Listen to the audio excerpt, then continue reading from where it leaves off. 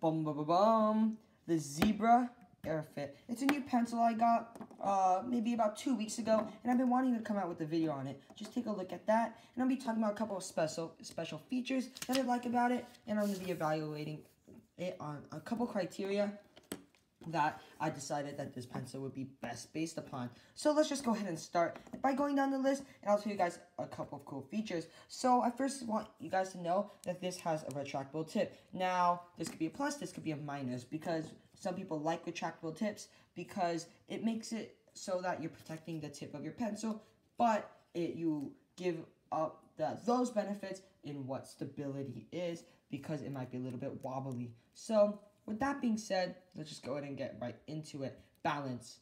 I'll try to do the finger thing. Right there.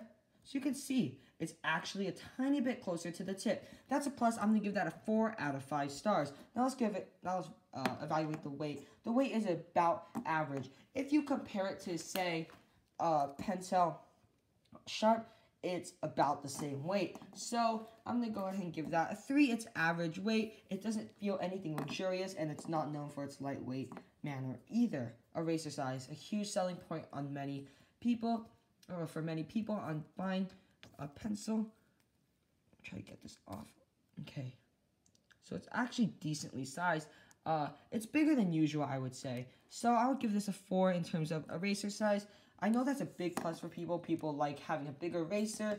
They think that smaller erasers look a tiny bit tacky. So that's something I'm trying to include in my reviews for this channel. Grip comfort.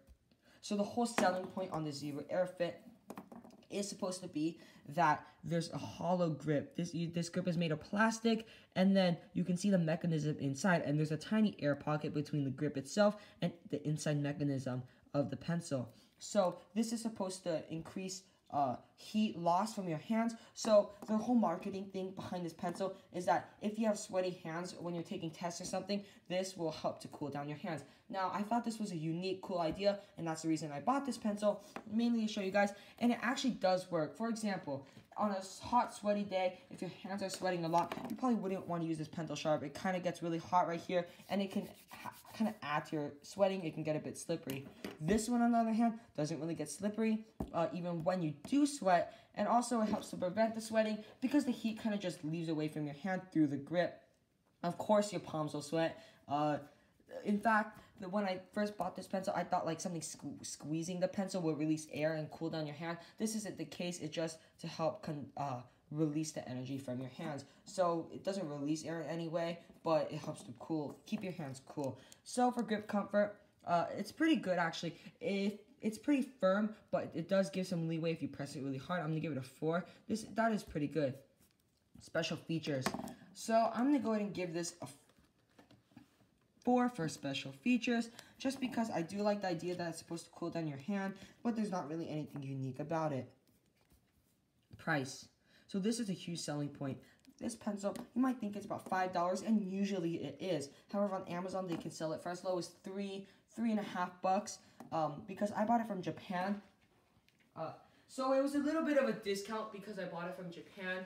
Uh, so it actually took a long time to ship to my place, but I was willing to pay for it just because uh, of the fact that it was way cheaper. And also came with like all this cool stuff, and also came with a piece of candy. So it's a pretty reputable uh, place to buy pencils, and from Amazon, a third-party seller in Japan. So look, I'm gonna give this a four for look. I like how it's see-through. I like how you can see the mechanism.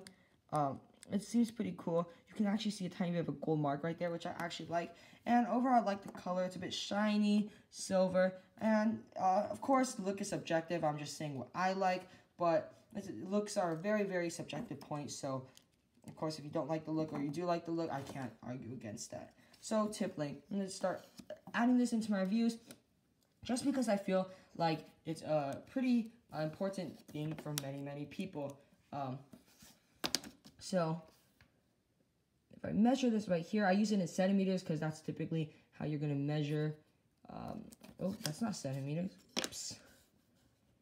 That's typically how you measure tip length. And if I line it up right there, I would say it's about three three millimeters or so. So it's not as long as the Rotring 800.